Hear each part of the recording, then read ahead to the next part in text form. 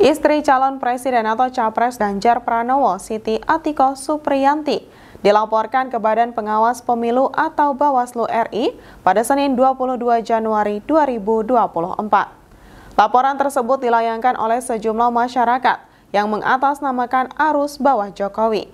Tak hanya Atiko, Sekretaris Daerah Provinsi Sulawesi Utara, Steph Hartke Andreas Keppel, alias Steph Keppel, juga turut dilaporkan. Keduanya dilaporkan ke Bawaslu RI lantaran diduga mengajak aparatur sipil negara alias ASN saat kampanye di lapangan Megamas Manado, Sulawesi Utara. Istri Ganjar Pranowo ini lahir di Purbalingga, Jawa Tengah pada 25 November 1971. Sama seperti sang suami, Atiko juga merupakan lulusan Universitas Gajah Mada.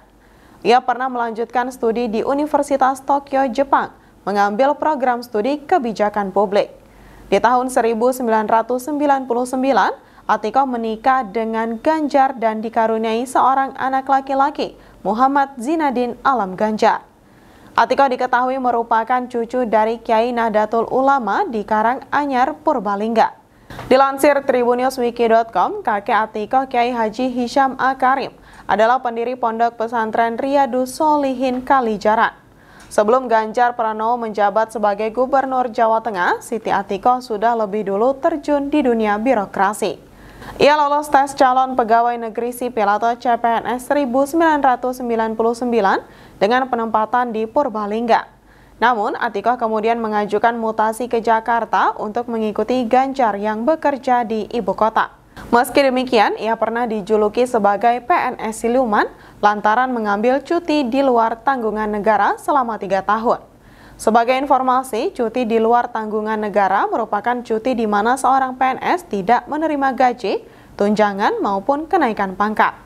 Cuti itu diambil Atiko lantaran sibuk sebagai ketua tim penggerak PKK Jawa Tengah setelah Ganjar terpilih menjadi gubernur Jawa Tengah.